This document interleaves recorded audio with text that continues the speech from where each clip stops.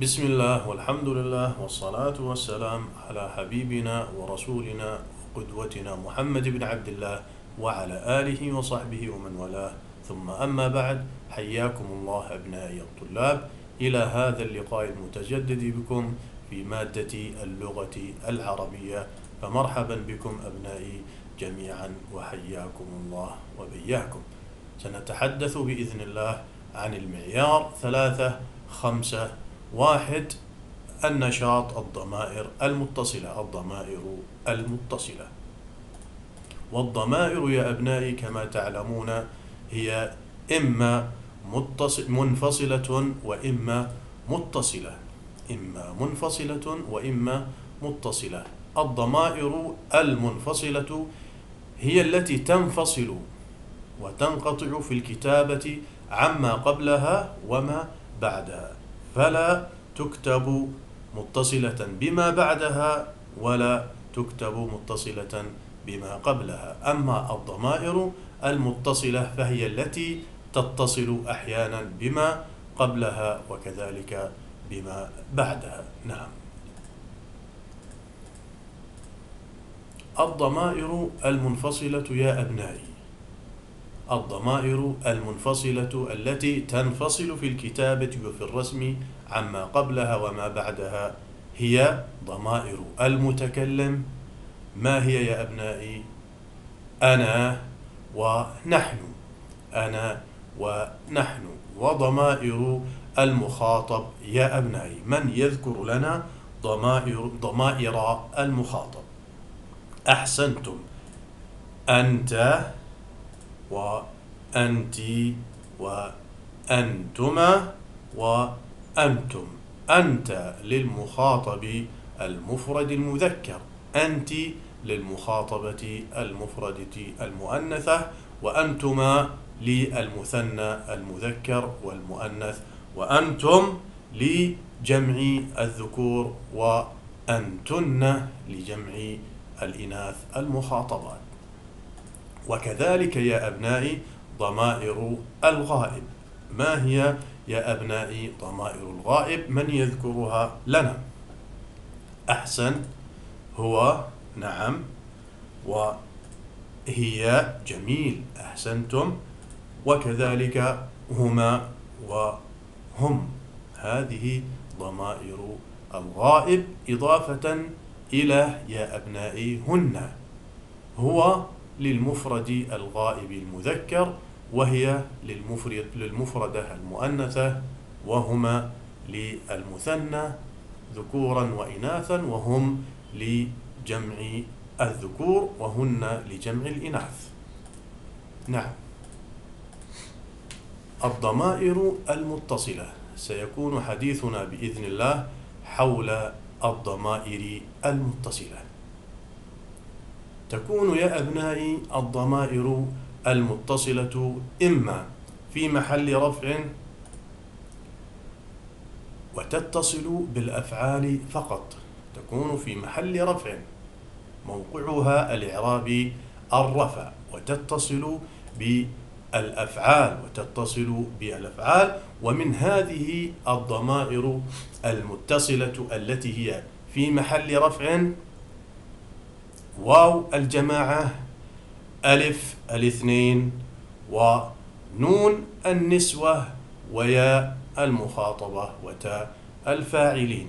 هذه يا أبنائي الضمائر المتصلة في محل رفع ولا تتصل إلا بالأفعال. واو الجماعة وألف الاثنين ونون النسوة وياء المخاطبة وتاء الفاعل. كذلك يا أبنائي من الضمائر المتصلة ما هو في محل رفع ونصب وجر ما يأتي في محل الرفع والنصب والجر. وهذه الضمائر يا أبنائي تكون مشتركة بين الأفعال والأسماء والحروف فتأتي في الأفعال وفي الأسماء وفي الحروف في محل رفع وكذلك في محل نصب وجر. هي يا أبنائي نا الفاعلين. نا الفاعلين يا أبنائي يأتي متصلا بالأفعال وكذلك الأسماء والحروف في محل رفع ونصب وجر كما سنذكر بإذن الله في هذا اللقاء. كذلك يا أبنائي من هذه الضمائر المتصلة ما يأتي في محل نصب وجر ومنها يا أبنائي وهي التي تتصل بالأفعال والأسماء وكذلك الحروف. وتتصل هذه الضمائر بالأفعال والأسماء والحروف. وهي يا أبنائي ها الغائب ويا المتكلم وكاف الخطاب. ها الغائب يا المتكلم وكاف الخطاب. تأتي يا أبنائي هذه الضمائر في محل نصب وجر وتتصل بالأفعال والأسماء والحروف. أحسنتم نبقى أبنائي أولا وضمائر الرفع المتصلة. ضمائر الرفع المتصلة. نعم. الضمير والمثال وموقع الضمير. ما هي يا أبنائي قلنا ضمائر الرفع؟ كما قلنا هي واو الجماعة واو الجماعة. والمثال من يقرأ لنا المثال يا أبنائي؟ أحسنت. الطلاب ذاكروا دروسهم ونقول الطلاب يذاكرون دروسهم. الطلاب يذاكرون دروسهم. أحسنتم يا أبنائي. أين الضمير المتصل هنا؟ واو الجماعة في الفعل. ذاكروا. نجد أنه في موقع الرفع في موقع الرفع ويعرب هنا يا أبنائي.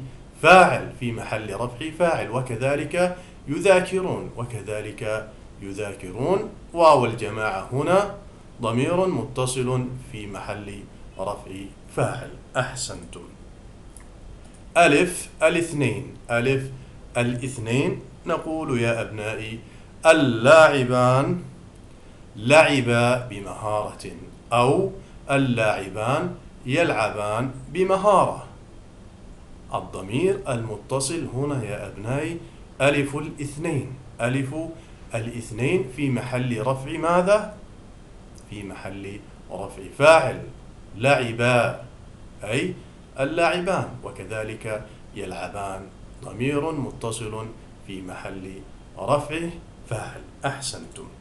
كذلك يا أبنائي نون النسوة. ضمير متصل في محل رفع في محل الرفع. فنقول يا أبنائي في المثال المعلمات شرحنا الدرس. أو المعلمات يشرحن الدرس. الضمير المتصل كما هو مشار إليه.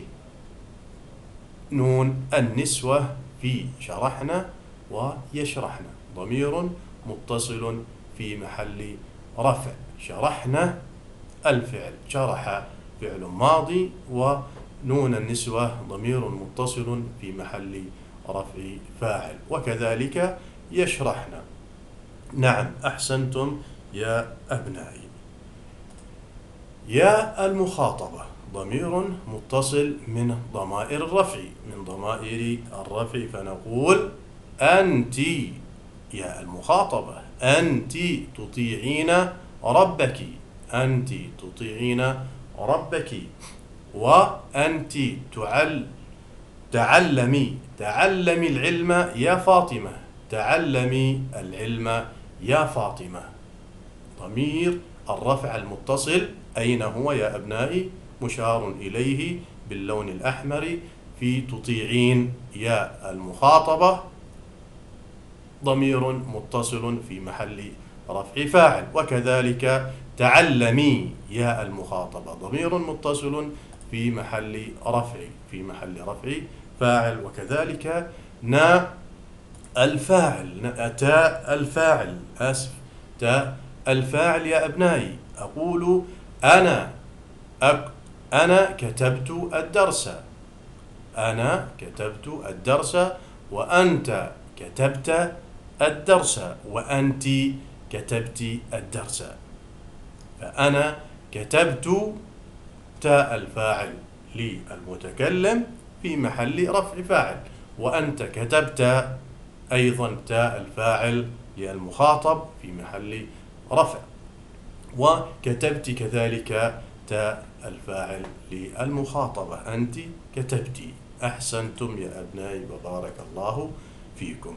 وهذه يا أبنائي الأفعال نلاحظ أنها تتصل فقط بالفعل تتصل فقط بالفعل وتكون في محل رفع وتكون في محل رفع وهي كما ذكرنا واو الجماعة ألف الاثنين ونون النسوة ياء المخاطبة وتاء الفاعل وتاء الفاعل. ثانيا أبنائي ضمائر النصب والجر. وهذه الضمائر هي هاء الغائب وياء المتكلم وكاف المخاطب. وكاف المخاطب تأتي يا أبنائي أولا في محل نصب متى؟ إذا اتصلت بالفعل. إذا اتصلت بالفعل تكون في محل نصب كما هو موضح في هذه الأمثلة.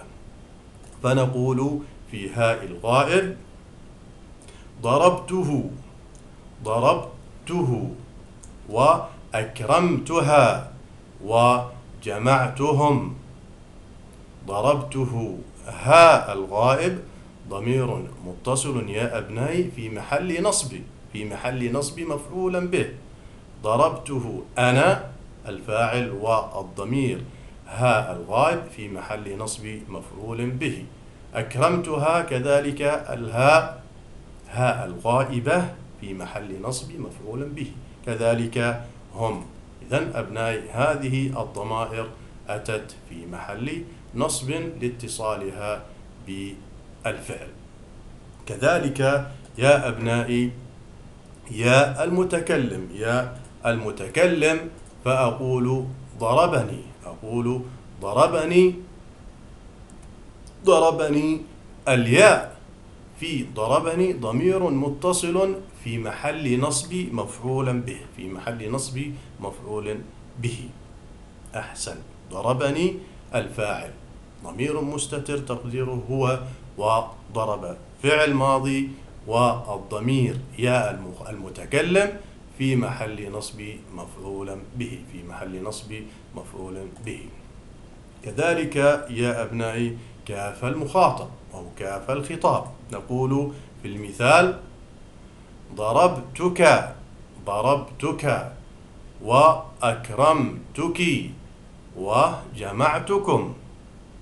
نجد أن كاف المخاطب المفرد في ضربتك أتى هنا ماذا؟ في محل ماذا؟ في محل نصب مفعولا به في محل نصب مفعول به. وكذلك الكاف للمخاطبة أكرمتك في محل نصب مفعولا به كذلك وجمعتكم الكاف في محل نصب مفعول به. أحسنتم وبارك الله فيكم.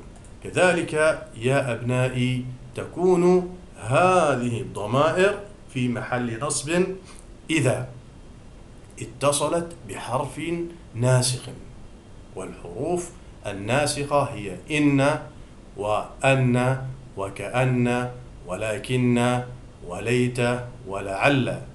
تكون في محل نصب إذا اتصلت هذه الضمائر ضمائر الغائب هاء الغائب وياء المتكلم وكاف الخطاب. إذا اتصلت بحرف من حروف النصب أبنائي فإنها تكون في محل نصب. فإنها تكون في محل نصب كما هو موضح يا أبنائي في الأمثلة. التالية. هاء الغائب أقول مثلا إنه إن حرف النصب والضمير هاء الغائب ضمير متصل في محل نصب اسم إن وكذلك إنها وإنهما وإنهم وإنهم وإنهن. نعم وإنهن. كلها يا أبنائي أتت في محل نصب أتت في محل نصب اسم إن في محل نصب اسم إن. أحسنتم وبارك الله فيكم. كذلك يا أبنائي يا المتكلم إذا اتصل الضمير يا المتكلم بحرف من حروف النسخ إن أن كأن لكن ليت لعل يكون يا أبنائي في محل نصب اسم إن أقول إنني إنني الياء اسم إن اسم إن أو ضمير متصل في محل نصب اسم إن وكذلك كأنني ضمير متصل في محل نصب اسم إن. جميل. وكذلك يا أبنائي كاف الخطاب إذا ألحقت وأتت بعد حرف من حروف النصب هذه وحروف النسخ فنقول إنك إنك إنكما كأنكم ولعلكن. جميع هذه الضمائر يا أبنائي متصلة أتت بعد حرف النسخ فنقول عنها ضمير متصل في محل نصب اسم إن في محل نصب اسم إن أو في محل نصب كأنكم في محل نصب اسم كأن وكذلك لعلكن في محل نصب اسم لعل. أحسنتم وبارك الله فيكم. نأتي الآن يا أبنائي لضمائر النصب والجر. ففي محل الجر إذا اتصلت الضمائر التي قلناها ضمائر ضمير الغائب هاء الغائب وياء المتكلم وكاف المخاطب. تكون يا أبنائي في محل نصب في محل جر. إذا نعم إذا اتصلت وإذا ألحقت بالاسم. إذا ألحقت بالاسم تكون في محل جر. ونوضح ذلك يا أبنائي كما هو في هذه الأمثلة. اتصلت هذه الضمائر هاء الغائب وياء المتكلم وكاف الخطاب. إذا ألحقت بالاسم تكون في محل جر بالإضافة في محل جر بالإضافة. فهاء الغائب نقول كتابه كتابها كتابهما كتابهم وكتابهن وكتابهن. جميع هذه الضمائر يا أبنائي أتت في محل جر بالإضافة في محل جر بالإضافة. الهاء في كتابه وكذلك في كتابه وكذلك ها في كتابه في كتابها وكتابهما هما. وهذه كلها الضمائر يا أبنائي كما تلاحظون في محل جر بالإضافة. لماذا؟ لأنها اتصلت بالاسم اتصلت بالاسم فتكون يا أبنائي في محل جر في محل جر. وكذلك يا المتكلم كتابي معلمي وأبي. ألحقت واتصلت بالاسم قبلها. كتابي الياء ضمير متصل في محل جر بالإضافة.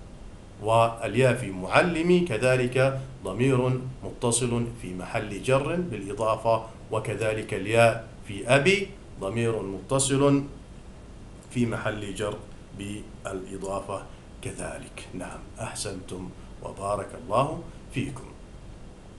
نأتي لكاف الخطاب. نأتي لكاف الخطاب فنقول كما في المثال الأمثلة الواردة. قلمك وقلمك وقلمكما وقلمكم وقلمكن قلمكن نجد أن الكاف هنا لخطاب المفرد المذكر وقلمك لخطاب المفردة المؤنثة وقلمكما لخطاب المثنى. ذكور أم إناث قلمكم لخطاب جمع الذكور وقلمكن لخطاب جمع الإناث.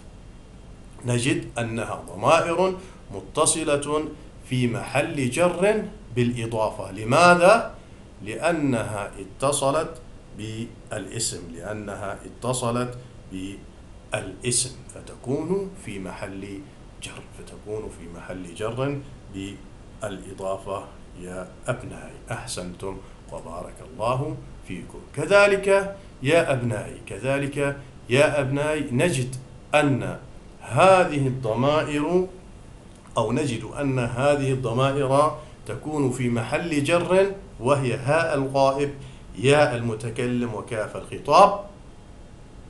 إذا ألحقت واتصلت بحرف من حروف الجر من وإلى وعن وعلى وفي والكاف واللام والباء. إذا اتصلت هذه الضمائر بحرف من حروف الجر هذه تكون متصلة في محل جر. تكون متصلة في محل جر كما سنذكر بإذن الله في الأمثلة هذه. ها الغائب. نقول منه وفيها وعليهما ولهم وإليهم فمن حرف جر وكذلك يا أبنائي في حرف جر وعلى حرف جر كذلك واللام حرف جر وإلى حرف جر. جميع هذه الحروف قد اتصلت بالضمير ضمير الغاء ضمير الغائب الهاء فلأنها اتصل بها حرف جر فنقول عنها في محل جر. في محل جر أحسنتم. بارك الله فيكم. كذلك يا أبنائي يا المتكلم. يا المتكلم إذا ألحقت واتصلت بحرف من حروف الجر تكون في محل جر. تكون في محل جر. أقول مني وإلي وعلي. إذا من حرف جر إلى كذلك حرف جر وعلى حرف جر. قد اتصلت بها قد اتصل بها الضمير يا المتكلم فيكون ضميرا متصلا في محل جر. ضمير متصل في محل جر. يا أبنائي وكذلك كاف الخطاب. كاف الخطاب إذا اتصل بحرف من حروف الجر يكون في محل جر. يكون في محل جر. نقول منك ومنك وعليكما ولكم وفي كنا كل هذه يا أبناء الضمائر المتصلة أتت في محل جر. لماذا؟ لأنها قد سبقها حرف جر. قد سبقها حرف جر كما قلنا. أحسنتم وبارك الله فيكم. نبقى يا أبنائي لضمير الرفع والنصب والجر. نا الفاعلين. نا الفاعلين يأتي في محل رفع وكذلك في محل نصب وكذلك أيضا في محل جر كما سنوضح بإذن الله في هذا الجدول وفي هذه الأمثلة. في محل جر متى يكون نا الفاعل يا أبنائي في محل جر؟ إذا اتصل بفعل وكان هو المسند إليه. إذا اتصل ناء الفاعل بفعل وكان معناه مرتبط بهذا الفعل. بمعنى أنه فاعل فنقول كتبنا الواجب. كتبنا الواجب فالناء مسند إلى الفعل كتبنا وهو الذي قد قام بالفعل. فنا نا الفاعل ضمير متصل في محل رفع في محل رفع. كذلك يا أبنائي إذا اتصل بفعل ناسخ. إذا اتصل نا آه، بفعل ناسخ يكون في محل رفع اسم الفعل الناسخ سواء كان كان أو أحد أخواتها. فنقول أصبحنا مطمئنين. أصبحنا مطمئنين. الفعل الناسخ أصبح ألحق به واتصل به نا الضمير المتصل نا فكان في محل رفع اسم أصبح في محل رفع اسم أصبح كما هو موضح أمامكم يا أبنائي.